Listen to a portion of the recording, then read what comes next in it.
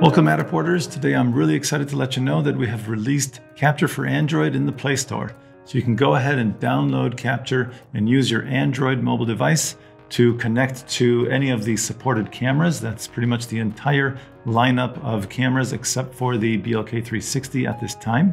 That's coming later. But for now, you can use Capture on Android to connect to any of the 360 cameras that we support, as well as the Matterport Pro series of cameras. If you are in the Play Store and you search for Matterport and you don't see that Capture for Android is available, that's probably because it's not compatible with your device. If you've been using Capture on your iOS device, then this is really not very different. The only thing that you'll want to uh, take note of is when you connect to the camera's Wi-Fi, Android tends to be a little bit more aggressive in that it notices that the camera does not have a connection to the internet. So it just notifies you. And what you just want to do is click, yes, I confirm that I still want to stay connected to this network despite the fact that it's not connected to the internet. Once you've done that, everything else is really the same. But for anybody who has not yet used Capture, let's go ahead and walk through all the different features and what you can do. The first thing you'll notice after launching the application for the first time is it'll ask you to enable location access and file storage. So you just want to check those two boxes and then you can go ahead and proceed. You can always change these permissions in the application's permission settings, but there's really no need.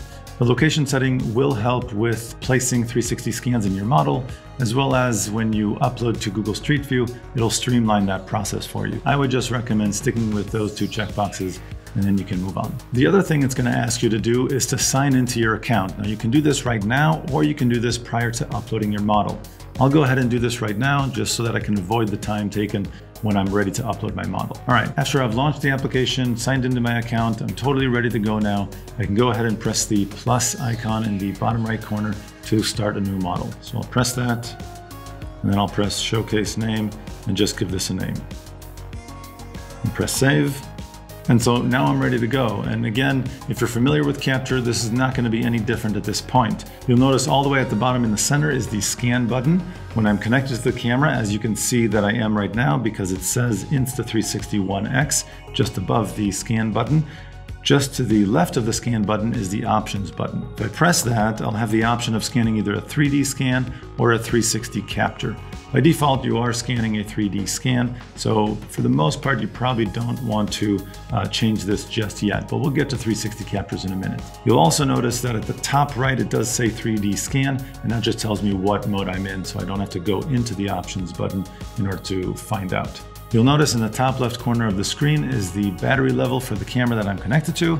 And so that's really nice to kind of just allow me to keep an eye on the battery level. We'll get to the three icons in the bottom right in a second. Let's just go ahead and press scan to capture a scan.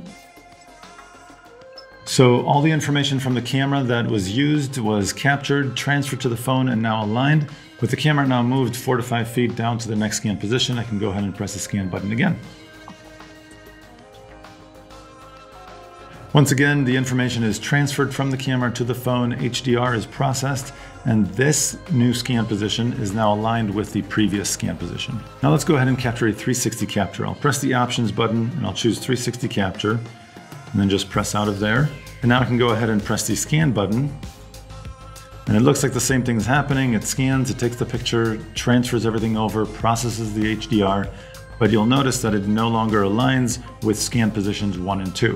Instead, a 3D capture was added, and you can see that in the icon in the bottom right corner. And if I click on that, you'll see the list of the different 360 captures that I have scanned. The icon just below that allows me to add markings like window markings, mirror markings, and trim markings to my model.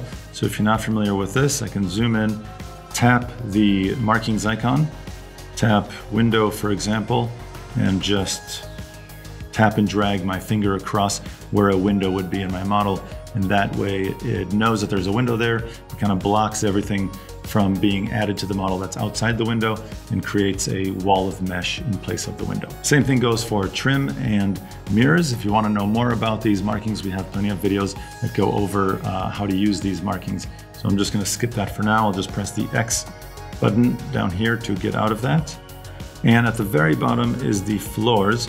Once I climb my way upstairs and get to the landing on the second floor, I can press the floors icon to generate a new floor. Thereby it's going to kind of erase all of the scan positions that I have on floor one, and I'll start with a new slate on floor two. So it just helps me figure out where the new scan positions are um, because otherwise I would just see both the floor above and the floor below in the same image. It becomes very confusing. So I don't need to add a new floor in this case. I'll just go ahead and tap outside here to get out of there. And that's it. At this point, all you want to do is upload all the model data that you've captured into your cloud account for processing. So you just press the upload button in the top right corner. And that's really it for Capture on Android.